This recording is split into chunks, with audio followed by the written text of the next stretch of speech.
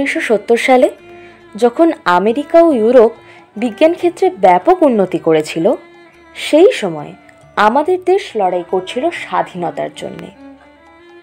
তেইশে সেপ্টেম্বর আমি হুগলির গোপীনাথপুর গ্রামে জন্মগ্রহণ করি। আমার বাবা ইন্দ্রনারায়ণ মুখোপাধ্যায় বঙ্গবাসী কলেজে রসায়নের অধ্যাপক ছিলেন।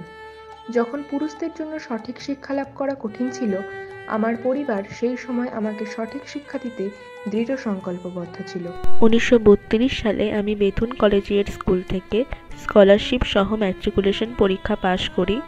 তারপর উনিশশো চৌত্রিশ সালে বেথুন কলেজ থেকে আইএসসি ডিগ্রি লাভ করি। যদিও সেই সময়ের মতো কলেজে ভর্তি হতে আমাকে অনেক বাধার সম্মুখীন হতে হয়েছিল। একজন নারীর পক্ষে পুরুষের সমান শিক্ষা লাভ করা খুবই কঠিন ছিল। কিন্তু আমি দৃঢ় প্রতিজ্ঞ ছিলাম এবং রসায়নে বিএসসি ডিগ্রির জন্য স্কটিশ চার্চ কলেজে ভর্তি হয়েছিলাম। উনিশশো ছত্রিশ সালে আমি রসায়ন বিভাগের একমাত্র মহিলা ছাত্রী হিসেবে রসায়নে আমার বিএসসি ডিগ্রি লাভ করি। বিখ্যাত বাসন্তী দেবী গোল্ড মেডেল এবং হেমপ্রভা বোস মেডেল দ্বারা মনোনীত হই। বিএসসি এর পর আমি রাজাবাজার বিজ্ঞান কলেজে এমএসসি শুরু করি। আজও সেই দিনটা আমার মনে পড়ে। প্রথম দিন কলেজে প্রফেসর প্রফুল্লচন্দ্র রায় আমাকে দেখে বলেন তুই কি বাঙালি না মাদ্রাজি? আমি উনিশশো আটত্রিশ সালে জৈব রসায়নে স্পেশালাইজেশন সহ এমএসসি ডিগ্রি লাভ করি।